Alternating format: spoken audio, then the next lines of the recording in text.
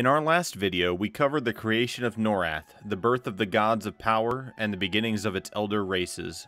If you haven't seen that video yet, I encourage you to watch it before this one, as some parts may be confusing otherwise. This story continues off from Rallos Zek creating the orcs and ogres in an attempt to bolster his growing army. The children of Rallos Zek had been born, the orcs on Faydwer and the giants and ogres on Tunaria. The giants, being one people at that time, flourished in the Northlands, vast and fertile grasslands that stretched from the ocean to great mountains both to the east and south. In seclusion, they made huge cities and castles, and built a civilization rivaled at that time by very few of the other intelligent races. The Giants were a strong nation and worshipped their creator, the Warlord. Armies and outposts guarded the passes leading into the Northlands, and the few times their home was attacked, the invaders were utterly crushed. Far to the south, another civilization was growing in power as well. The ogres also worshipped the warlord, arguably even more fervently than the giants, and of all the races, it was the ogres who quickly proved the most interested in battle and plunder, and their empire grew outward from their mountain home until it eventually encompassed a large portion of Tunaria, largest of the known continents. Their knowledge of magic grew as did their greed, until they became weary of only Norrath, and when they learned of other planes and dimensions, invaded the plane of Earth itself. While the ogres to this day sing songs of their initial victory over these 13 mighty beings, it is also true that when one of these gods fell, soon another arose from the earth to take his place. The ogres could do little against a foe eternal and were eventually defeated, their armies forced to fall back through the portals that had brought them to that plane. Hordes of earth elementals and flesh-eating plants pursued them, even into Norrath, and southern Tunaria fell victim to the wrath of the Twelve Gods. Rallos' forces were scattered and broken, unable to continue their current assault. Rallos Zek looked down upon the ogres, and in seeing their defeat, grew furious. While he was a lesser deity, he was still the god of war, and in his arrogance he too opened a portal to the plane of Earth, and personally led his forces in an invasion. An inconceivable battle ensued, one of which history says little other than that the heavens themselves shook, and in the end even the warlord was defeated by the Council of Rathe. Rallos and his minions were cast back into the planes of influence, and the greater gods came together, creating a barrier such that no lesser god or creature could ever pass into the planes of power again. They also saw fit to punish Rallos Zek for his treachery and arrogance. And so, in what some view as spite and others justice, the gods cursed the warlord's creations. Thousands of ogres were slain, and their empire collapsed around them. Those that remained scattered into small tribes in southern Tunaria. The orcs, giants, and goblins, also of the warlord's creation, were not spared the god's wrath. The fate of the orcs is almost totally unknown, for they are not a people to keep history, concerned only with the present. The goblins were also cursed, but no writings remain of their punishment, for they no longer keep records of their history, perhaps an indication of the severity of their curse.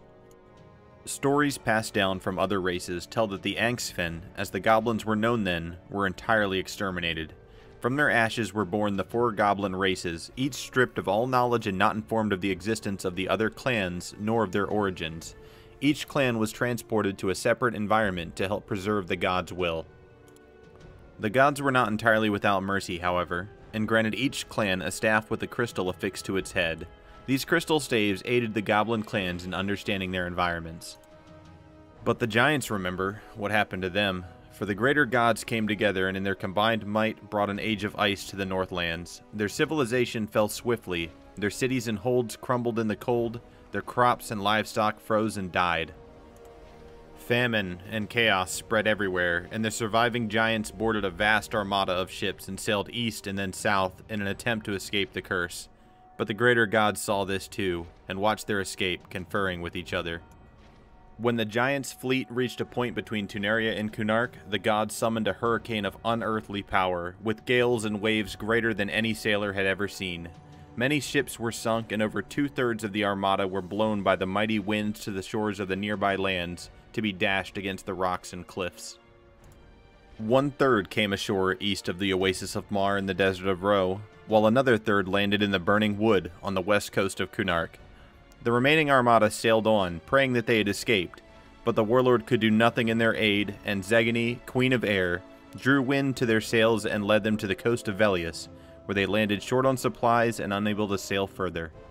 Thus, the greater gods brought their final curse upon the giants, for they had fled the Northlands to escape an age of winter, only to find themselves marooned on an entire continent of eternal ice and snow.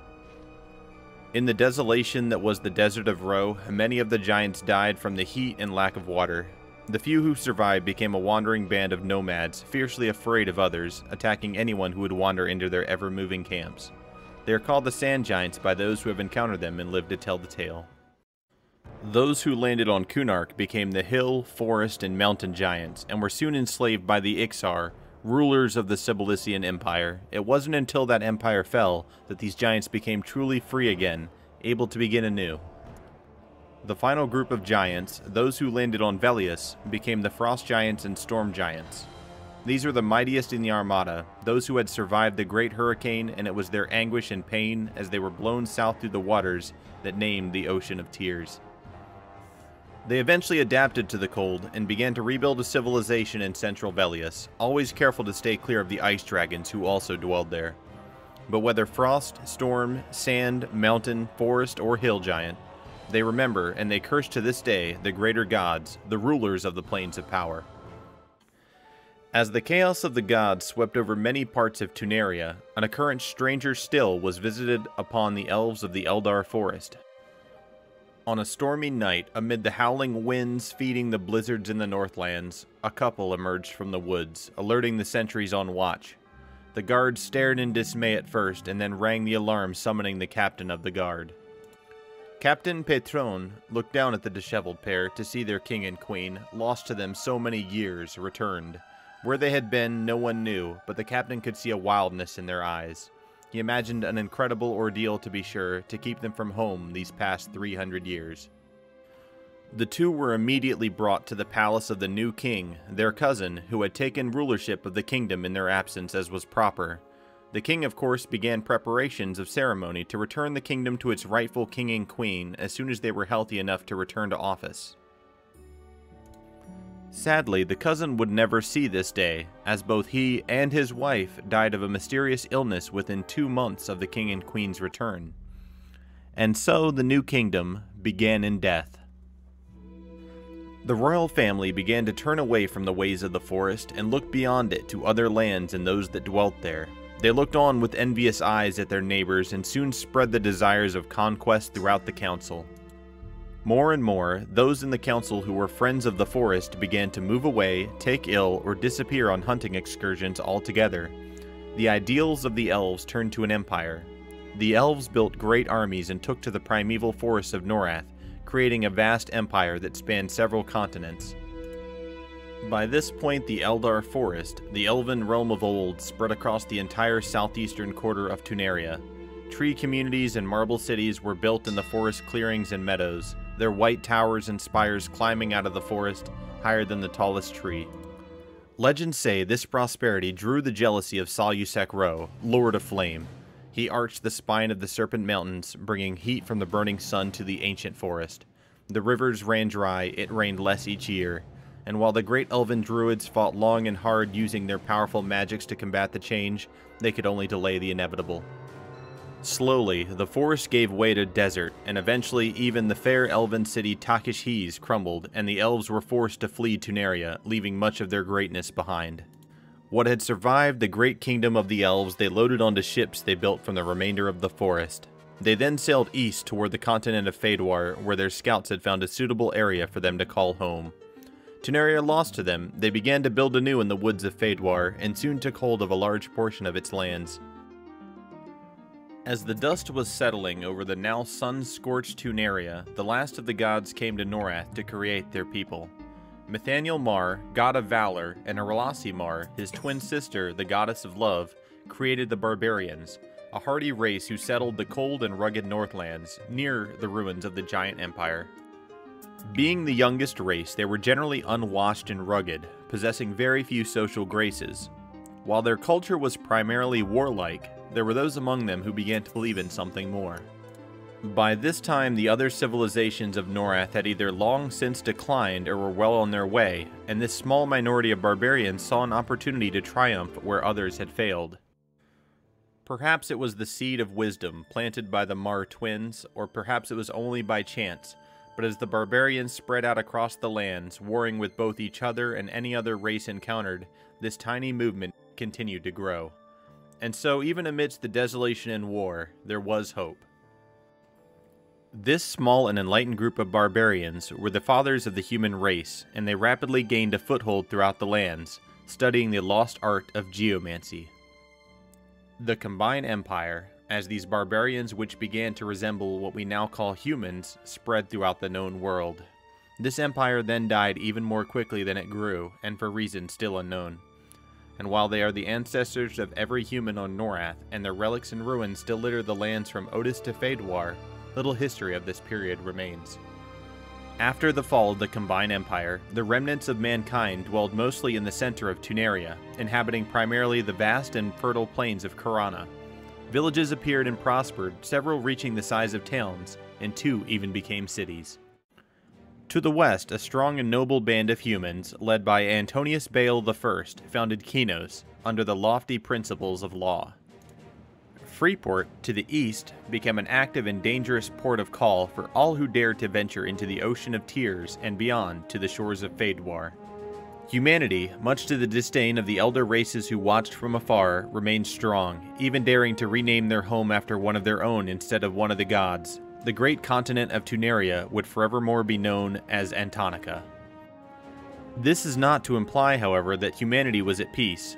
Competition was fierce, and when resources grew scarce for one reason or another, many groups abandoned the promises and alliances of their past and fought. A few leaders spoke out against the violence, urging the masses to remember why they had fled the cold north. Others reminded them of their former glory and the might of the combined empire. These leaders insisted that humanity adhere once again to those principles which all had agreed.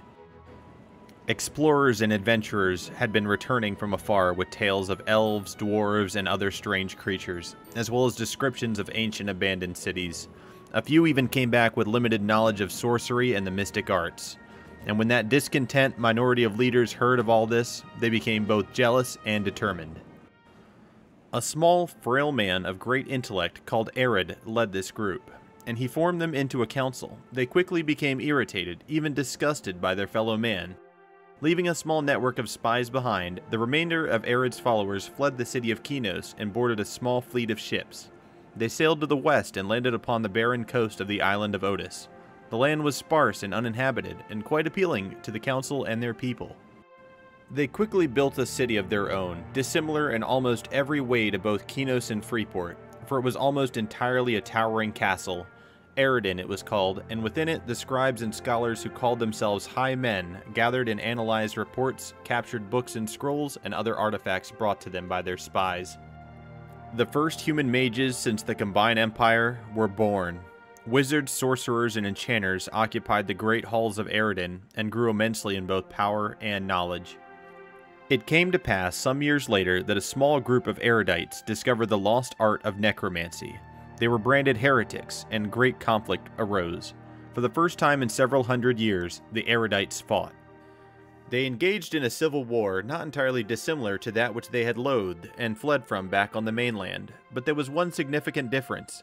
They did not use swords and bows, but rather magic, and the result was terrible.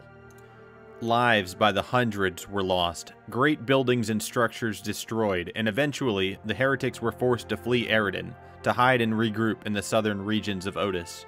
In one final battle, great mystic energies were released, and an immense hole leading to unknown depths beneath the earth was created.